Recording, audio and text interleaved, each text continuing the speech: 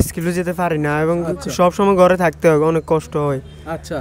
তার এই সব সময় যাতে ঘরে ঘরে গৃহবন্দী থাকতে না হয় তার যে তারুণ্য বয়স এই বয়সে যাতে তার যে বন্ধুবান্ধব ফ্রেন্ড সার্কেল তাদের সাথে যাতে মিশতে পারে এবং নবম শ্রেণীতে যাতে কন্টিনিউ তার যে স্বপ্ন যে একদিন অনেক বড় হবে এবং অনেক দূর লেখাপড়া করবে এবং অভাবী মা বাবার মুখকে উজ্জ্বল করবে এবং যে স্বপ্ন এই স্বপ্নটা যাতে ভেঙে না যায়, এই স্বপ্নটা যাতে সে লালিত করে তার সামনে এগিয়ে নিয়ে যেতে পারে।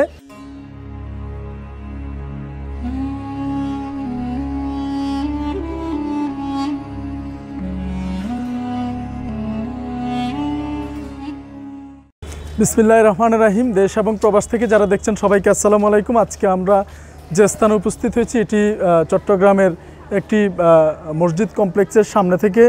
যে অসহায় পরিবারটিকে দেখতে পাচ্ছেন? ওনারা খুবই অসহায় অবস্থায় আমাদের শরণাপন্ন হয়েছেন এবং আমরা ওনাদেরকে ফিরিয়ে দেই নাই এবং আমাদের সর্বোচ্চটা দিয়ে আমরা ওনার, ওনাদের পাশে দাঁড়ানোর চেষ্টা করব। আর যে বিষয়টা নিয়ে উপস্থিত হয়েছি, সেটি হচ্ছে যে ছেলেটি আমার পাশে দাঁড়ানো আছে, তার কিন্তু এই যে এখান থেকে যদি আমরা দেখাই, এই যে একটি পা নেই, আর একটু ধরেন কাছে আসো, তুমি কাছে আসো ওই পাটা কিন্তু তারপরেও মোটামুটি একটা বড় ধরনের আরও কাছে বড় ধরনের একটি ক্ষত এবং এই পাশাপাশি এই পাটা, এই একটু হ্যাঁ এইভাবে দেখো, এই পাটা একটা পা আছে আর একটা পা নাই। এই পাটা কিন্তু তার নেই। এই- এইভাবে এই, এটাতে ধরো এইভাবে তুমি হ্যাঁ এভাবে ধরো। তো এই, আরেকটু নিচে নামাও। হ্যাঁ এভাবে ধরো এভাবে ধরো এভাবে ধরো। তো এই হচ্ছে যে তার অবস্থা, তার একটি পা নাই।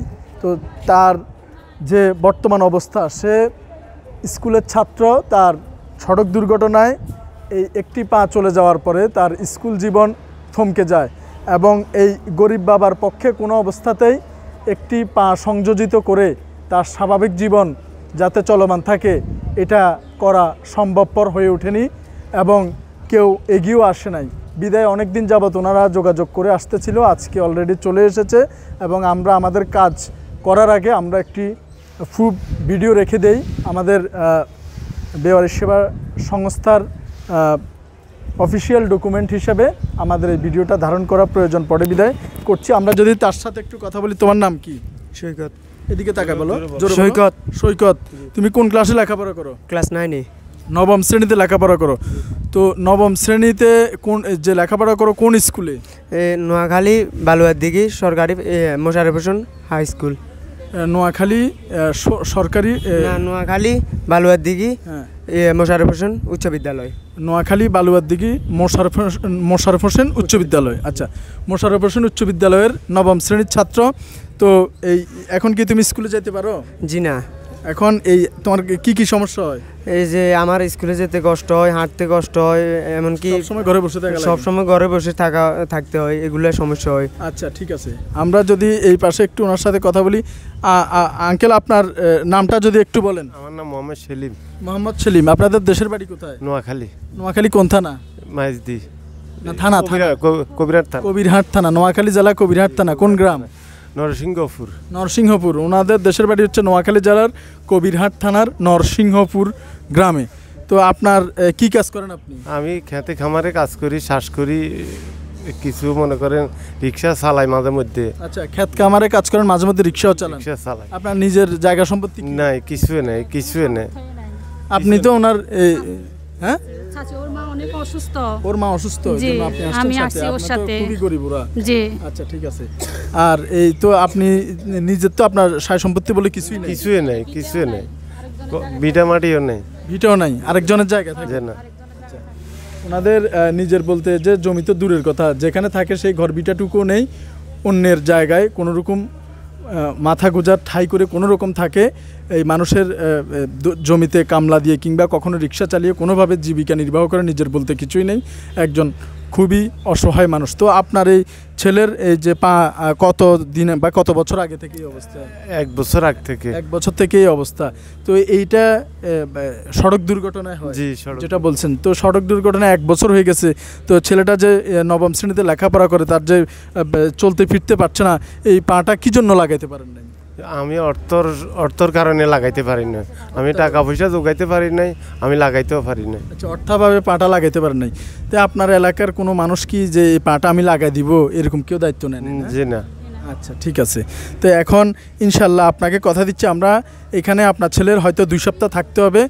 এই দুই সপ্তাহ থাকার যে কজ কিংবা পা লাগানোর কজ বা এখান থেকে যাওয়া পর্যন্ত সব খরচ আপনার এক টাকাও নাই সব কিছু আমরা করে দিব ইনশাল্লাহ। এবার আল্লাহর কাছে শুক্রিয়া আদায় করবেন। ইনশাল্লাহ আল্লাহ আপনারা আল্লাহ আপনারা হয়াত আচ্ছা ঠিক আছে। তো এখন এই- আপনার নাম কি বলছেন আমার নাম মোহাম্মদ সেলিম। মোহাম্মদ সেলিম। আর তোমার নাম হচ্ছে মোহাম্মদ সৈকত। সৈকত। তো এই সৈকতের পা লাগানোর দায়িত্ব আমরা নিয়েছি এবং খুব সহসাই আমরা তার পাটি একটি কৃত্রিম পা তার এই এই কৃত্রিম পাটি আমরা পুনরায় তার পায়ের সাথে স্থাপিত করে দিব স্থাপন করে দেব। ওনাদের একটি টাকাও খরচ পড়বে না।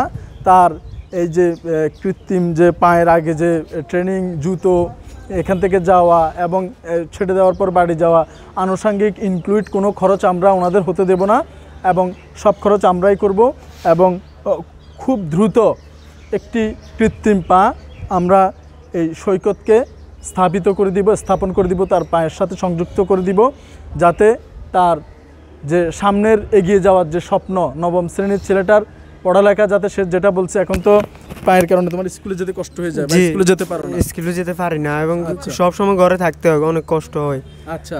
তার এই সব সময় যাতে ঘরে ঘরে গৃহবন্দী থাকতে না হয় তার যে তারুণ্য বয়স এই বয়সে যাতে তার যে বন্ধুবান্ধব ফ্রেন্ড সার্কেল তাদের সাথে যাতে মিশতে পারে এবং নবম শ্রেণীতে যাতে কন্টিনিউ তার যে স্বপ্ন যে একদিন অনেক বড় হবে এবং অনেক দূর লেখাপড়া করবে এবং অভাবী মা বাবার মুখকে উজ্জ্বল করবে এবং যে স্বপ্ন, এই স্বপ্নটা যাতে ভেঙে না যায়, এই স্বপ্নটা যাতে সে লালিত করে তার সামনে এগিয়ে নিয়ে যেতে পারে, এজন্য আমরা তার পাশে দাঁড়িয়েছি এবং ইনশাল্লাহ আমরা এই কার্যক্রমটি সম্পন্ন করব এবং এই নোয়াখালী জেলার কবিরহাটের নরসিংহপুর গ্রামের যে অসহায় পরিবারটি দীর্ঘদিন আমাদের সাথে যোগাযোগ করার পরে আসছে। আসলে মানুষের ভালোবাসা পেতে হলে কিংবা কোনো মানুষের উপকার করতে হলে খুব বড় কিছু একটা হওয়ার প্রয়োজন নেই। আপনি আপনার জায়গা থেকেও এরকম অসহায় মানুষের সেবা করে তাদের হৃদয়ের গভীরে অবস্থান করতে পারবেন।